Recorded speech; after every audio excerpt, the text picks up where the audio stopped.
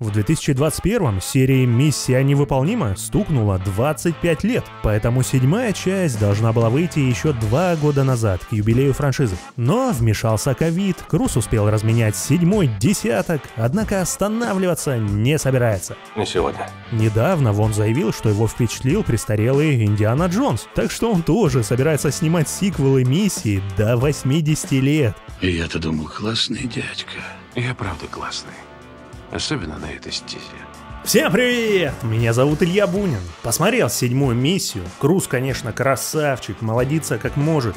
Но, вы, возраст все же берет свое. И франшиза вот-вот перейдет в разряд пенсионных бабладоек. Раз уж сам Круз примеряет на себе ролевую модель Харрисона Форда. Впервые за много лет безбашенный забег Тома сбавил обороты, и это сразу же сказалось на итоговом впечатлении. Давайте разбираться, что происходит с одной из самых кассовых кинофраншиз планеты. Погнали! Тебе все равно не избавиться от меня.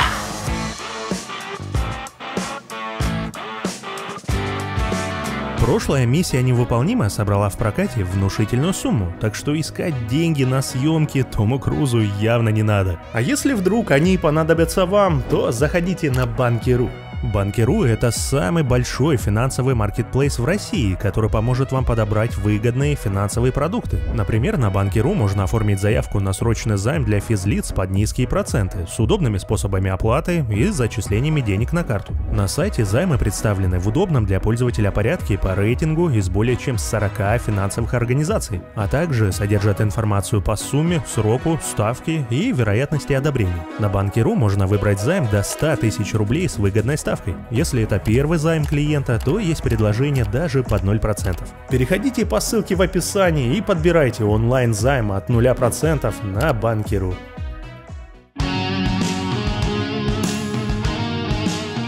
По Крузу не скажешь, но ему уже 61 год, и звездой он стал еще в 80-х. Удивительная история. Расскажете? Да, представьте себе, Топ Ган вышел аж в 86-м. Тогдашняя экранная девушка Круза успела стать экранной бабушкой. После Топ Гана Том снялся в «Оскароносном Человеке Дождя» 88 года, в 90-м получил первый «Золотой глобус» и номинацию на Оскар за фильм «Рожденный 4 июля», поработал с Джеком Николсоном в ленте «Несколько хороших парней» и с Брэдом Питтом в интервью с вампиром. А потом решил закончить карьеру актера и в возрасте 34 лет переквалифицировался в продюсера и каскадера, сохранив статус кинозвезды.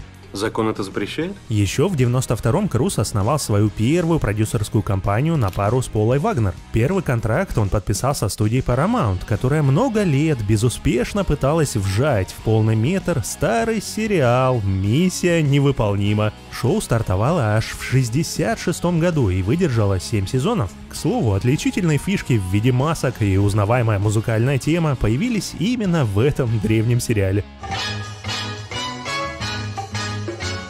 Том загорелся идеей сделать миссию своим первым продюсерским проектом и уговорил студию выделить ему 80 миллионов долларов на производство полноценного блокбастера.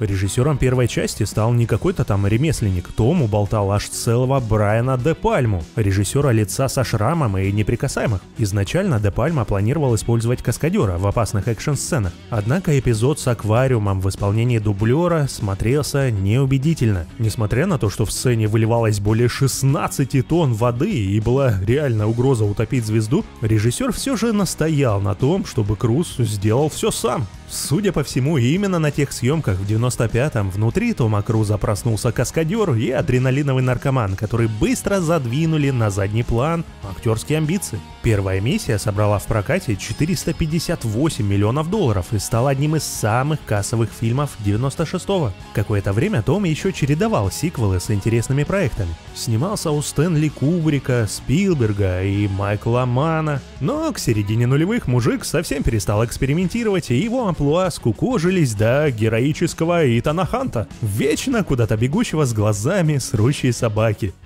Беги, сука, беги! Последовавшие сиквелы приносили разную прибыль, но в целом всегда были успешны. Так что после третьей части создатели убрали из названия циферки, ибо было уж как-то неудобно, и стали придумывать красивые подзаголовки, как в Джеймсе Бонде. Протокол Фантом, Племя изгоев, Последствия. Теперь вот до уровня голого пистолета докатились со своей смертельной расплатой. Это стихи, это поэзия, это останется с нами и через сотню лет. Сюжет хромал на обе ноги и в первых фильмах, но к четвертому окончательно деградировал в досадную необходимость хоть как-то оправдывать бесконечный забег ведущей звезды. Ну а Том гулял на все деньги. В каждой новой части он бросал себе все более безумные вызовы. Я вовсе не герой.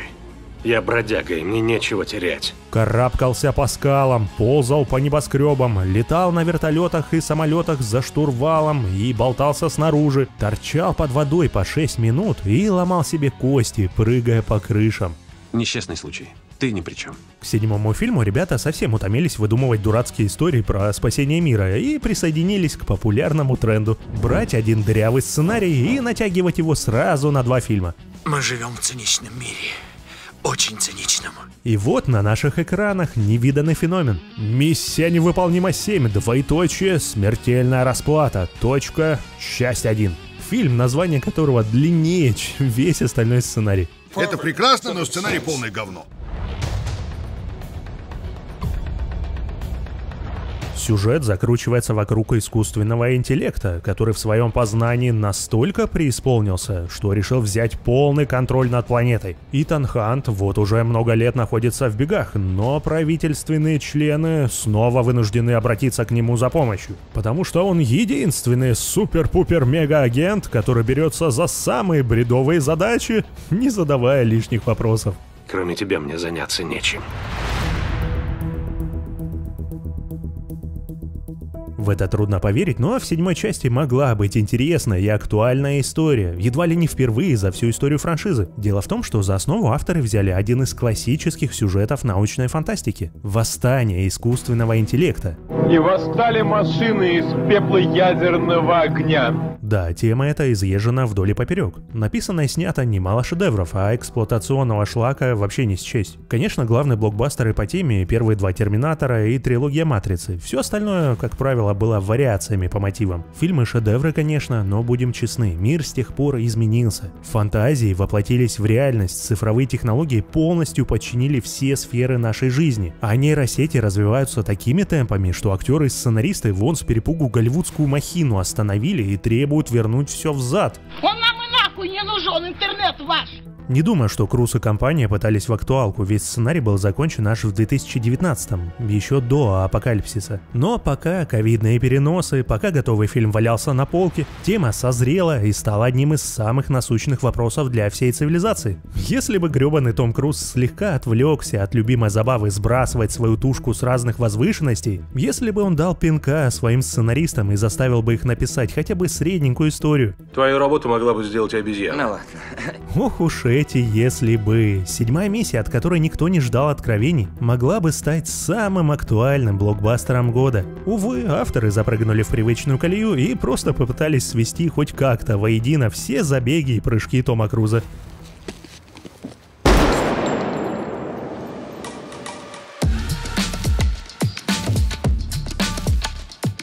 Так что сюжета здесь кот наплакал. Вдруг откуда ни возьмись появляется мощный ИИ. То ли русские его придумали, Какие ваши доказательства? то ли еще кто. Даже происхождение этой херни в фильме толком не объясняют. Как бы там ни было, ИИ самообучился и начал буянить. Чтобы его угомонить, нужно собрать воедино ключ из двух половинок. Интрига заключается в том, что все начинают охотиться за ключом, но никто не знает, что именно он открывает. В итоге сюжет сводится к древнему баяну с красной жары. От чего этот ключ? Поцелуй меня в жопу. Два часа экранного времени герои будут пытаться собрать две половинки вместе и узнать, куда их надо тыкать. А потом фильм просто закончится на полуслове, как это сейчас модно. Всем спасибо, приходите через год. Во второй части они придумают какую-нибудь суперкапчу, и могущественный интеллект падет ниц. Экспозиция местами тоже выстраивается топорным образом. Кто-то из персонажей постоянно проговаривает сюжет вслух как бы для остальных персонажей, но на деле эти диалоги нужны только для зрителя. Злодеем стал какой-то левый хмырь, который когда-то там, 30 лет назад, в прошлой жизни убил какую-то телку, которая была дорога Итану Ханту. А мы, значит, должны проникнуться его болью. Ты убил ту девчонку, чтобы меня подставить. За это я забью тебя до смерти и напьюсь твоей крови из твоего же ботинка. Откуда взялся этот тип? Кто эта девушка? Почему он ее убил? Вообще похую. Движение сюжета от одной сцены к другой происходит преимущественно тремя способами. Первый — телепортация, когда герои тупо переносятся из одной точки планеты в другую. Второй — рояль в кустах, когда в последнюю секунду появляется кавалерия из-за холмов и решает сложную ситуацию. Третий — веселый обосрамс, когда герои 10 минут пытаются добыть ключ, добывают его в тяжелой драке в поезде, и вот ключ валяется на полу, протяни руку и возьми. Но нет, они садятся попиздеть о любви и красивых видах, а потом такие «Ой, а где же ключ? Его что, спиздили, пока мы тут лясы точили? Ой-ой!» И таким вот макаром оправдывается следующая погоня и следующая драка, только уже не в поезде, а на крыше поезда. Про бесконечные допущения, упущения и логические противоречия даже говорить не буду. Сценарий такой дырявый, что его лучше бы и вправду нейросеть писала. Дырка в дырке от бублика. Понятное дело, что на миссию мы идем в первую очередь не ради захватывающих историй, а ради ураганного экшона и Тома, который нас пытается впечатлить. И вот здесь произошла досадная просадка. Экшена много, но назвать его ураганным язык не поворачивается. Складывается ощущение, что наш актер Актерыч слегка подустал и решил отдохнуть после переломов и прочих истязаний, которыми он подвергал свой организм год за годом. Поэтому в седьмой части миссии Итан Хант в основном находится находится в пути, Аки самурай. Он плавает на лодках, ездит на тачках и мотоциклах, летает на самолетах и просто гуляет по красивым местам, изредка срываясь в традиционный спринт. Пейзажи на фоне красивые, конечно, за это спасибо. В последнее время Голливуд словно магнитом тянет в Италию. Да, это, конечно, не Самара и не Урюпинская. Такое ощущение, что Джон Уик напомнил американцам о привлекательности римских и венецианских задников. И в какой-то момент седьмая миссия реально начинает косплеить Джона Уика, когда герои внезапно попадают в какую-то модную неоновую вписку посреди античной архитектуры. Я рад, что развлек тебя. Это все круто, конечно, только вот по зрелищности и плотности экшена фильм сливает не только любой части Джона Уика, но и десятому форсажу. Экшен в Риме у Дизеля был мое почтение, а у Круза все как-то совсем жиденько. Дизель пытался справиться с бомбой верхом на спорткаре, а Круз пытался удержать управление вонючего Фиата в рамках рекламной интеграции марки. Блин, докатились. Сравниваю Круза с Дизелем. Угасающая звезда. Белый карлик падающий в черную дыру.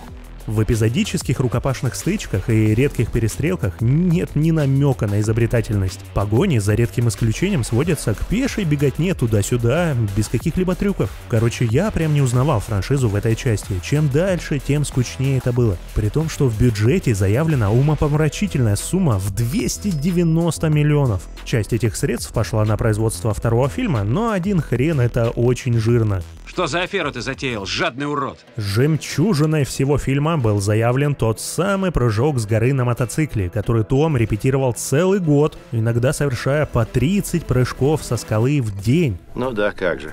Даже если это не так, Кроме меня никто не продвинулся настолько далеко.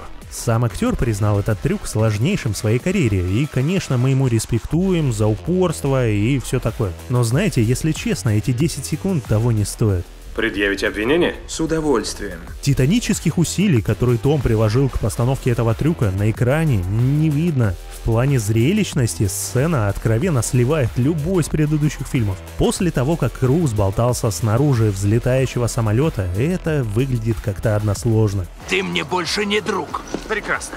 Ну а самое главное, ее нам показали уже раз 500 промо-компаний, во всех сраных тизерах и трейлерах, в бесконечных интервью, в биролах о съемках фильма и новостных выпусках. Этот прыжок гуляет по интернету уже как минимум год. Сколько раз я это слышала? Меня подставили. Поэтому вау-эффекта это не вызвало совсем. Более того, сейчас это ощущается так, будто мы купили билет не в кино, а на прыжок Тома. Хорошо, хоть авторы припасли для нас сцену с крушением поезда в самом конце фильма. По сути, только она и смогла захватить внимание. Но по большей части вся миссия смотрится примерно вот так. Что для фильмов этого формата подобно смерти. Деградировав до уровня форсажа в сюжетном плане, миссия умудрилась проиграть ему в плане экшена.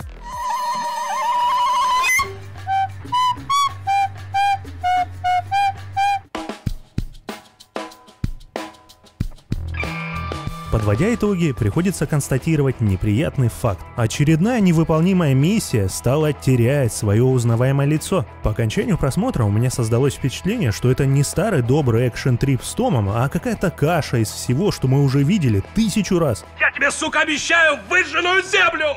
Круз начал спасать девушек, прям как Джеймс Бонд Крейга. В сценах с поездом, проезжающим по арочному мосту, считываются референсы какого-нибудь Skyfall или Восточного экспресса. Начинается фильм прям как последний Джон Уик в пустыне, и потом многими сценами повторяет как локации, так и декор. Экшен в Риме, телепортация и тупость роднят его с последним форсажем. Но только вы понимаете, это без кеков над вином-бензином. Ну и самое главное, ни сюжетом, ни трюками в этот раз Круз не впечатлил. Хочешь еще раз меня увидеть? Никогда. Пока делал выпуск, как-то сгрустнул. Даже открывающая сцена второй миссии была и то более захватывающей, чем весь новый фильм. Агент Круз в отпуске карабкался по Гранд Каньону, и на визуальном уровне это смотрится впечатляюще и сейчас. Кадры захватывают дух.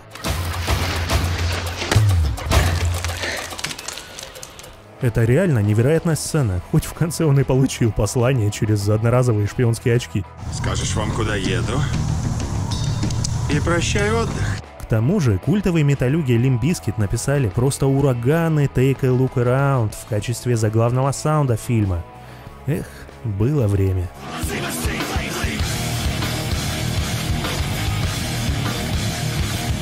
Начинался фильм очень бодро, потом завяз в каких-то предельно затяжных сценах погони, привет, Мэверик, ничем особо не впечатлил и внезапно закончился. Не могу сказать, что я прям разочарован, если любите Тома, то посмотреть на большом экране все еще можно, картинка у него красивая, но как-то грустно осознавать, что угасает поколение топ-звезд вроде Брэда Питта, Киану Ривза и теперь вот Тома Круза. На сегодня у меня все. Я пошел делать, доделывать обзор Оппенгеймера. Ну а вы пока можете посмотреть обзор Барби, главного пшика года. Спасибо за внимание, всех обнял и до скорого. Я исчезну. Если ты не дурак, ты должен этого бояться.